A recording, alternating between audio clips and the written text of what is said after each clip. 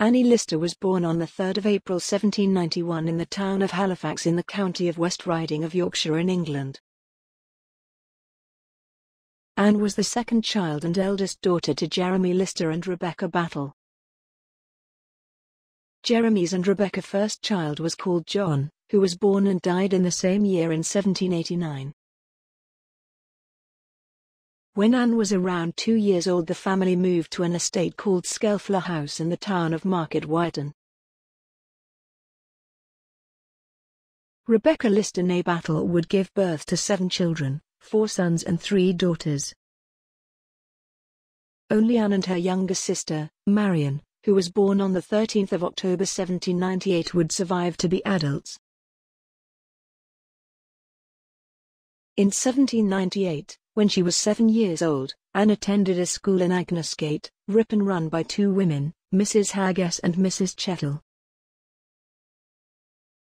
From the age of 10, Anne was then educated by the vicar of Market Weighton, the Reverend George Skelding at home, when she developed an interest in classical literature. From the age of 13 in 1804, Anne attended the Manor House School in York. It was during her time at the Manor House School, Anne would meet her first love, Eliza Raine, both of whom shared a bedroom at the Manor House School. Eliza's father was a surgeon with the East India Company in Madras. She was also illegitimate and half Indian. Eliza was brought to Yorkshire after her father's death in order to inherit a vast sum of money. For some unknown reason in 1806, Anne was asked to leave the Manor House School. After leaving the Manor House School, Anne started affairs with other women including Isabella Norcliffe and Mariana Belcombe causing Eliza so much anguish that she ended up as a patient at the Clifton House Asylum run by the father of Mariana Belcombe. Mariana was uncomfortable to be seen in public due to Anne's masculine appearance and for dressing in black, which was only reserved for men at that time. Mariana and Anne were lovers for about 20 years, which included when Mariana was married. On the death of her uncle in 1826, Anne inherited the Shibden estate. Anne did not gain full control of the estate until after the deaths of both her father and her aunt in 1836 but even part of the income that she received before then allowed her some measure of freedom. Anne's financial portfolio included shared in canals, railways, mining and quarrying plus a large number of properties in town and agricultural tenancy.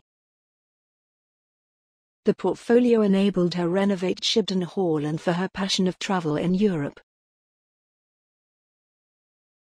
Anne always remained faithful to the Anglican religion and was also a committed Tory, interested in defending the privileges of the landowning aristocracy. In the early 1830s, Anne started a relationship with a wealthy heiress, Anne Walker. On Easter Sunday, 30th of March 1834, both Anne and Anne took communion together at the Holy Trinity Church, Goodramgate, York. Through this act they considered themselves married, but without legal recognition.